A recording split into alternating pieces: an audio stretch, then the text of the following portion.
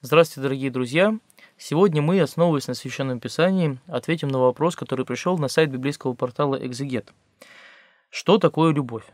Вопрос очень глубокий, а, и ответить на него коротко будет непросто, но мы постараемся это сделать. У многих э, людей возникает вопрос, что такое любовь и как правильно любить. Потому что в нашем языке, как и во многих, любовь к э, маме, любовь к жене, к собаке, к картошке, к фильму, это все обозначается словом «любовь». И не всегда понятно, что имеется в виду, когда говорят о любви. Так что же о любви говорит Священное Писание?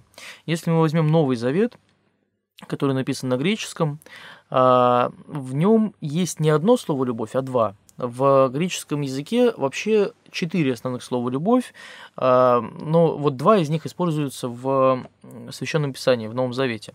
Итак, а, любовь как чувство, как отношение, как расположение, из которого следуют поступки, эта любовь называется филия.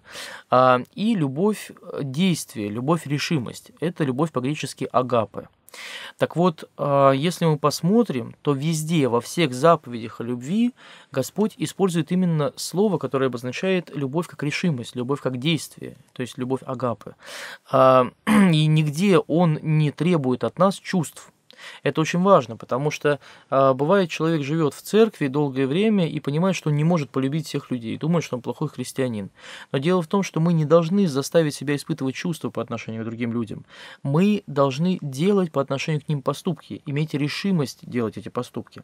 Э, итак, вот если мы посмотрим даже на заповедь о любви к врагам, окажется самая сложная заповедь, да, любить врагов. Ну как это возможно, если это ну, люди нехорошие? Итак, в Евангелии от Матфея в пятой главе мы читаем а, такую заповедь Христа. «Любите врагов ваших, благословляйте проклинающих вас, благотворите ненавидящим вас и молитесь за обижающих вас». Посмотрите, если там хоть что-то про внутренние чувства, если там хоть что-то про мысли – там есть три глагола действия. Благословляйте, благотворите и молитесь. То есть благословляйте, говорите хорошо или хотя бы не говорите плохо. Да? А, то есть есть две ступени любви. Не сделать плохо и сделать хорошо. А, благотворите, то есть опять же сделайте что-то доброе при возможности и молитесь. Это три действия. Это вполне себе реально. А, и Господь вообще в Евангелии не требует от нас каких-то заоблачных высот. Он всегда требует чего-то реального. Святитель Иоанн Златоуст об этом говорит, что если мы чего-то прочитали в Новом Завете, это можно пойти и сделать. То есть, соответственно, если мы не можем что-то сделать, значит, мы неправильно читаем. Так вот, а, если даже заповедь о любви к врагам можно выполнить, то и заповедь о любви к ближним тоже можно. То есть мы читаем и в Ветхом Завете, и в Новом э, заповедь Христа «возлюби ближнего твоего как самого себя», заповедь Божия «возлюби ближнего своего как самого себя». А, и э, вот здесь вот тоже очень интересный вопрос. А, получается, нельзя полюбить ближнего, если не любишь себя. Ну, как правильно любить себя? А есть очень интересный, э, как это сейчас говорит, лайфхак. А как правильно любить себя, в каждой конкретной ситуации относиться к себе. А можно представить себе, что вот у меня есть ребенок, желательно моего пола, и вот в этой конкретной ситуации, что бы я хотел для своего ребенка? Потому что своему ребенку мы не пожелаем плохого, и мы своему ребенку обычно желаем пользы. И, и вот через такой взгляд часто можно понять, как отнестись к себе правильно – а потом можно такое же отношение пытаться переложить и на других. А, и очень важно понимать, что любовь к ближнему – это именно поступки, именно дела, о которых Господь, о которым Господь нас призывает в Священном Писании.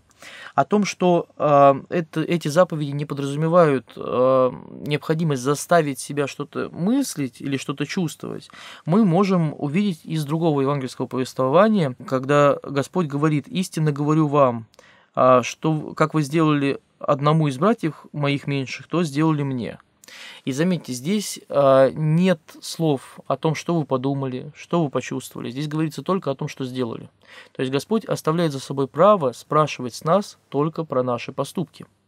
А, но спрашивается, а неужели не надо там работать с помыслами и с чувствами? Надо. Но мы это делаем для себя. Мы это делаем, чтобы не повреждать наши отношения с Богом. Господь же оставляет за собой право спрашивать с нас про, за наши поступки. И в том числе в исполнении заповеди о любви Господь будет спрашивать не что мы чувствовали, а что мы сделали. Но это не значит, что чувство любви – это какая-то вещь, от которой надо отвергнуться. Нет, чувство любви – это приятный бонус. Вот есть оно, оно помогает нам делать дела любви. Нет его, значит, мы это делаем без чувства любви. И э, есть очень э, хороший совет преподобного Амвросия Оптинского по этому поводу. Он говорит, если э, ты понимаешь, что хочешь иметь любовь, а не имеешь ее, то начни делать дела любви даже без чувства любви. И тогда Господь увидит твое усердие и старание и постепенно вложит в твое сердце любовь. Это очень важный принцип, что добродетель, она не формируется вот этим вот попыткой нагнетать себе чувства, а добродетель, она э, работает таким образом. Вслед за поступками уже начинает двигаться сердце. То есть наши дела вспахивают почву нашего сердца. И вот в делах любви все ровно то же самое. Необходимо иметь решимость делать дела любви, а чувство любви будет приходить потом. А, как любить? Если уж мы понимаем, что любовь это действие и поступки, как любить. А многие знают э, текст гимн любви э, апостола Павла из первого послания к Коринфянам, где он говорит, любовь долготерпит, милосердствует, любовь не завидует, не превозносится, не гордится, не бесчинствует, не ищет своего, не раздражается, не мыслит зла, не радуется неправде, сорадуется истине, все покрывает, всему верит, все переносит, всего надеется, любовь никогда не перестает.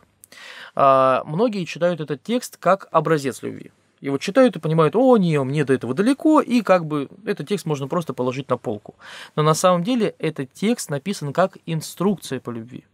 То есть я хочу научиться любить. Что мне сделать? Любовь долготерпит. Потерпи милосердствует, окажи милосердие, снисходительно отнесись к человеку, да, не завидует, не превозносится, то есть просто не сравнивай себя с другим человеком, по крайней мере, начни с этого, да, а, не гордится, не бесчинствует. Что такое бесчиние? Бесчиние – это то, что мы бы сейчас назвали, наверное, современным языком нарушение границ, да, или поведение неподобающее, да, там, ну, неприличное.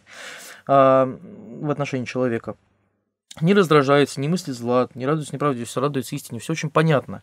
А все покрывает, вот это очень важно, да, любовь, она все покрывает, это действие, это не свойство, это действие. То есть мы должны быть готовы покрыть недостатки другого человека, а не тыкать в них постоянно. Вот, всему верит, да, то есть поверить тому, что человек говорит, даже если мы понимаем, что, может быть, это не совсем правда, да, если мы хотим проявить любовь, да, это труд. А, ну, нужно поверить человеку, а не вот это вот, типа, знаю я, где-то там шляешься. Ну, надо уметь покрывать любовью, вот, потому что это очень э, глубоко человек начинает раскрывать. А, и Э, всего надеется, то есть имеет постоянно надежду, не махает рукой на другого человека, все переносит, тоже очень важно, и любовь никогда не перестает. Опять же, это не свойство любви, это то действие, которое мы должны производить по отношению к другому человеку. Мы не можем любить человека время от времени. Мы должны а, иметь решимость делать дела любви независимо от наших чувств. И в этом как раз разница любви агапы и любви филия.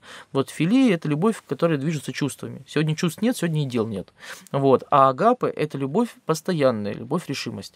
И у этой любви есть очень важный а, у этой любви есть очень важное свойство, о котором говорит, а, например, апостол Иоанн Богослов в своем первом послании а, соборном.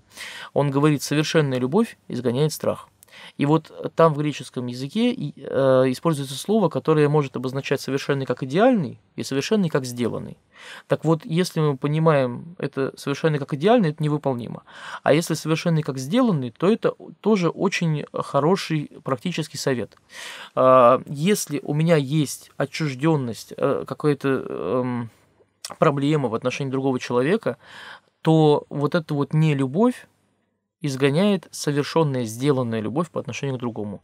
А слово фобия, совершенная любовь изгоняет страх, страх, фобия, здесь имеет очень широкое э, значение, не только боязнь, но и отчуждение, неприязнь и вот э, весь спектр негативных эмоций и состояний. А, ну, в общем, мы попытались на основании текста священного писания коротко ответить на этот вопрос, но эта тема любви, она очень глубокая, в ней стоит совершенствоваться и в первую очередь практически помню, что любовь – это решимость и поступки, а не чувства.